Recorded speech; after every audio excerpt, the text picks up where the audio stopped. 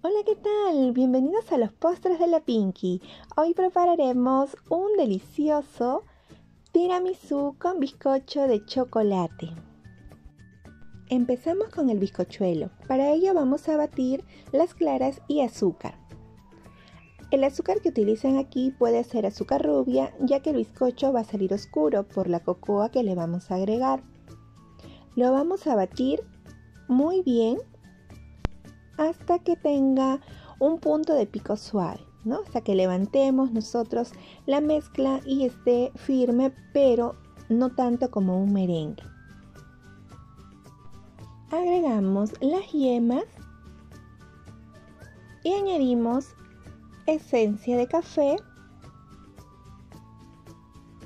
y batimos solamente para integrarlo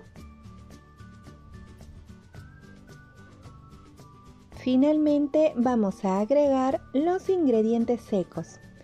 Pueden para ello utilizar la batidora a una velocidad mínima o lo pueden hacer con una espátula con movimientos envolventes.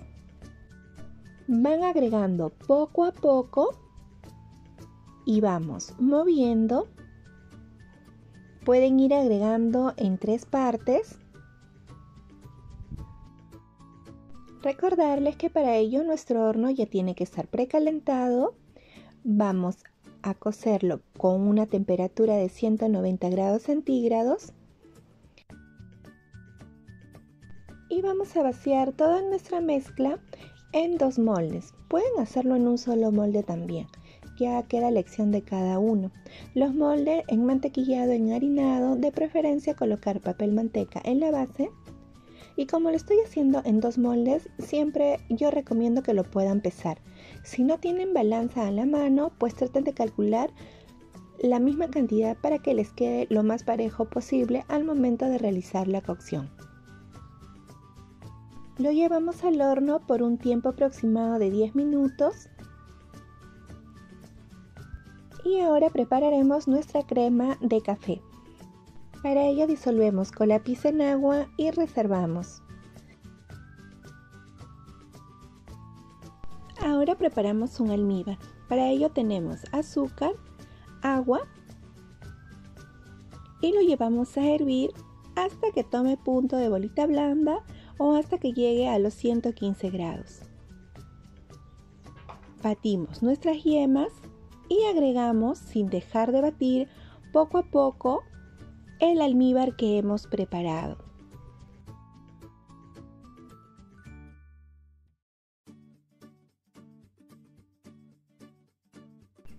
Ahora vamos a ir agregando el queso crema. Pueden utilizar queso tipo Filadelfia o el mascarpone. Agregamos el café que puede ser café pasado, café soluble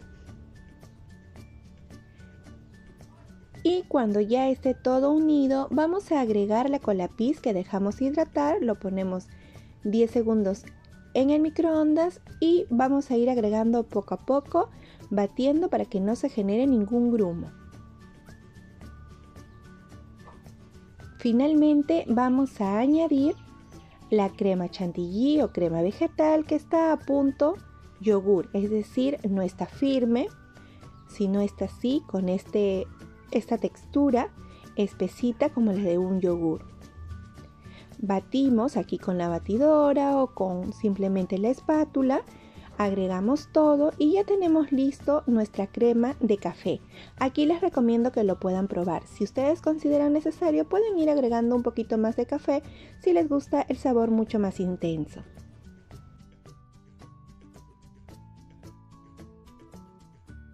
Ahora procedemos al armado de nuestro tiramisú. Para ello vamos a humedecer los bizcochuelos con almíbar de café. Simplemente es agua, café y azúcar. Lo dejamos hervir y lo vamos a vaciar sobre nuestros bizcochos. Tomaremos un molde y le vamos a poner fil en todo el interior. Agregamos un poquito de almíbar, colocamos el primer disco de bizcocho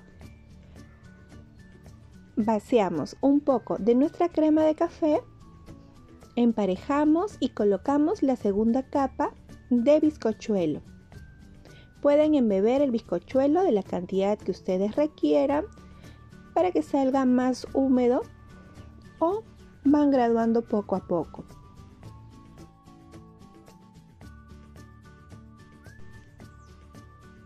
Añadimos ahora la segunda y última capa de crema de café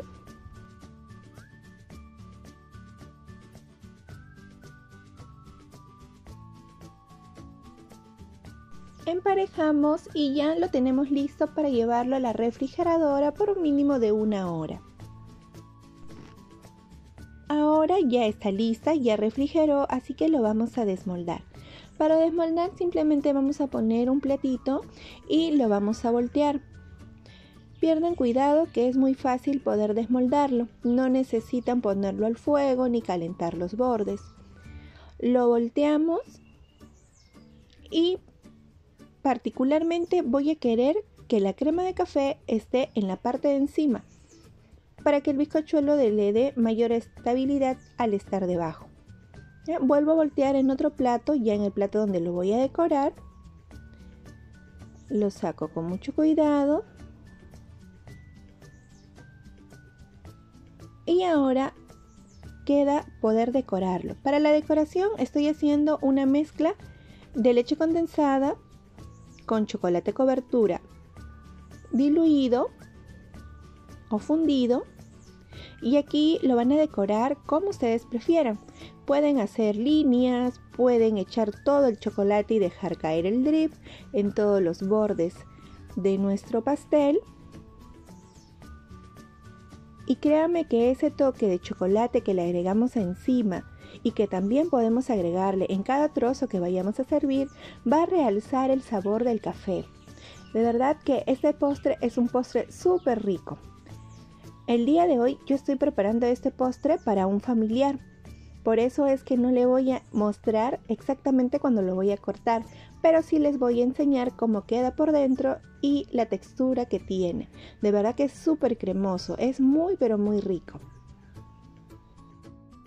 agregaré aún más chocolate, que en este caso será chocolate rallado.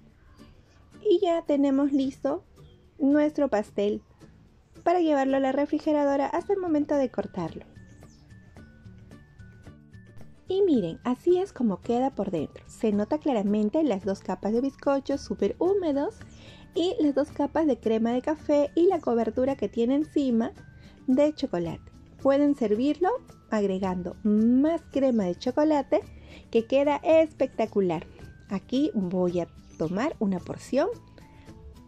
Miren. Mmm, qué rico. Así que los animo a que lo puedan preparar en casa y disfrutarlo junto con la familia. Es un postre que toma su tiempo preparar, pero que el resultado es espectacular. Gracias.